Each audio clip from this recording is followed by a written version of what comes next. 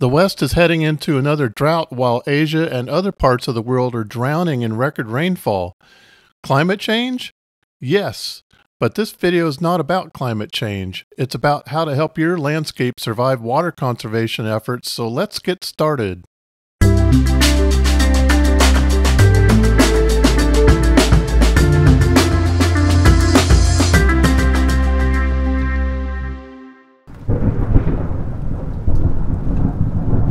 Climate change has been going on since the worldwide flood 12,000 years ago. That's one reason that many people were more nomadic in times past. Our modern culture prefers to remain stationary, so we need to adapt to our local environments, which are usually affected by numerous factors, including how many people need to share the resources. I'm going to take a moment and chat about concepts and perspectives to help lay a foundation for understanding why certain decisions need to be made about your landscaping and your timer programming.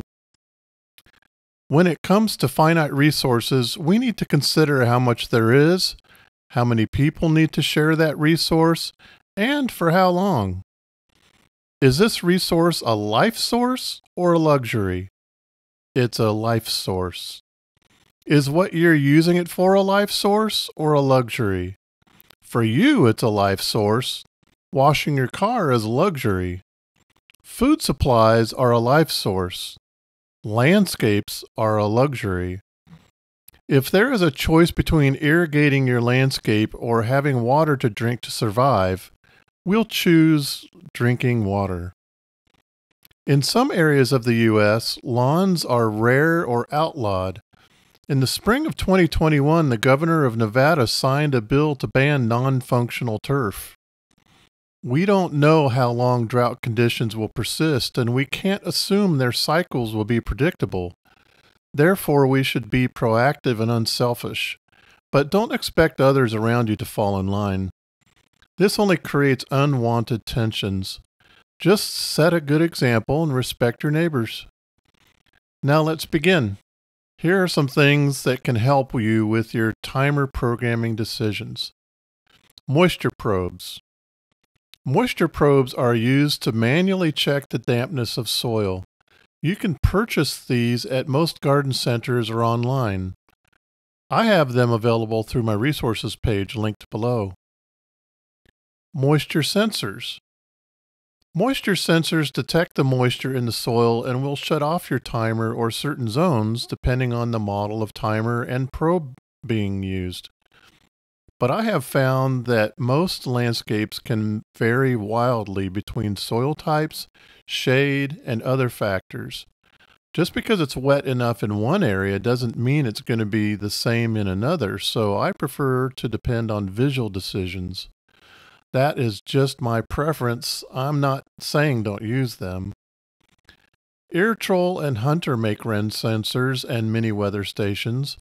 The mini weather stations, including Hunter's Solar Sync, adjust your run times according to the current weather conditions. Wi-Fi timers and smart controllers can connect to local weather stations and adjust the timer programming according to the weather, but how close are those weather stations to you? Is that data going to be accurate enough for your location? Maybe, maybe not. Many municipal areas will have water restrictions. Be sure to take full advantage of the days and times you can water if you're concerned about losing your landscape. All too often, the watering guides provided by municipalities, water districts, and well meaning organizations recommend 10 minute run times per station and don't consider what type of watering device you're using, such as whether it's drip, drip sprays, rotor sprays, rotary sprays, or pop ups. So they usually recommend 10 minutes. With a Rain Bird 1800 series nozzle, that calculates to a quarter inch of water. In comparison, a Hunter MP rotator nozzle would need to run almost four times as long to match that. A Hunter PGP Ultra rotor spray would need to run twice as long as the standard pop up to achieve that same saturation rate. And drip lines vary, but you get the idea. Be sure to download this handy rule of thumb sheet to help you with your timer programming. Coverage. Bad coverage leads to longer run times. When a lawn has inefficient coverage, the norm is to typically run those lines longer. The reason this has some merit is because once the water saturates the soil where the water is reaching, the subsequent water will begin translocating. Translocating is the movement of water through the soil. To avoid the need to run the system any longer than necessary, proper coverage is needed. The most optimum coverage you can typically expect is only 80%, which can be obtained using rotary nozzles. I discussed these in the video shown here. Otherwise, it'll be 60 to 75%. This is optimum, not normal or average, because normal or average systems have not been designed or installed with scientific care. Most systems probably only attain 30 to 50% at best. So, how do we get those percentages? Well, those are based on distribution uniformity or DU, DU is derived from a system of water distribution measurements and calculations, which I won't go into in this video. The procedure is called water auditing, and I've done auditing as a certified landscape irrigation auditor through the Irrigation Association. Just one of the manuals for getting certification is 276 pages long and full of industry jargon, so suffice to say I won't cover this material in detail here. Here are a few other things to consider. Microclimates. Most properties have microclimates. These are small areas around the property that have more or less shade, different soil types, different grades, different plant or tree types which have more or less watering needs. Ultimately, plants and trees with similar watering needs should be grouped together in these microclimates. It's ideal to have an irrigation system designed to accommodate these microclimates, but it's rarely ever done. Shade versus sun.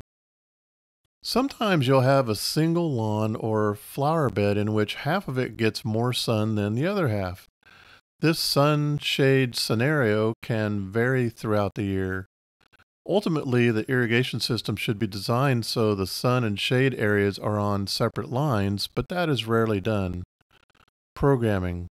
Especially during drought conditions, there is the need to cut back as much as possible on the watering schedule. How much can you dial back the run times and frequency before it becomes a danger to your landscaping?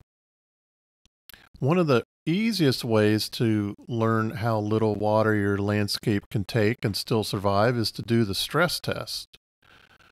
Cut back your run times and days per week as far back as you dare, then observe each day how everything's doing. Then adjust the run times and frequency accordingly in incremental steps. This is all objective, so it's up to you how much you adjust the timer. There are no magic calculations or so-called experts that can give you a guaranteed set of programming numbers. There are plenty of scientific methods available to get close, but you still must observe and adjust due to the many factors involved. In our industry, we tend to stick to rules of thumb since we can't be on your property every day and we can't reasonably take liability for the possible negative effects of giving incorrect advice based on our best guesstimates. There are so many factors that play into the decisions. Weather changes. Set it and forget it is the most common method of programming timers, and it permeates the landscape maintenance industry as well, since most so called professional gardeners haven't learned how to program timers or don't want to take the time to reset the timers regularly based on the weather. In my former gardening business, I made it my business to take ownership of my clients' irrigation systems by changing the programming according to the weather and inspecting the system about once a month. The time to do so was built into the monthly maintenance price. I will go into more detail in a future video geared toward the green industry on this. Set it and forget it is a major money and water waster. That's why if you don't want to manage the program yourself or can't because you're away from the property, many weather stations or smart controllers can help with those adjustments. Seasonal adjustment. Some timers, like Hunter controllers, have a seasonal adjustment option that allows you to change all the station's runtimes incrementally up or down to accommodate the weather changes. This way, you don't need to go to every station on the timer and change each one throughout the seasons. The way it works is that you set each runtime as if it were the hottest day of the year. Then, as the temps go up and down, you simply adjust the seasonal adjustment accordingly. This is a great feature, but I like to keep the runtimes the same so they can water deeper. My favorite way to adjust things is to simply change the frequency of the watering. In other words, change how many days a week it waters. Now you have two ways to quickly adjust the watering. Document it. Most of the properties I encounter don't have any documentation regarding their systems. None. This frankly blows my mind because, for one, how can you program your timer at all if you don't even know which zones water which areas of the yard? And taking in consideration what type of watering devices you have, like whether they are standard pop ups, rotors, or drip.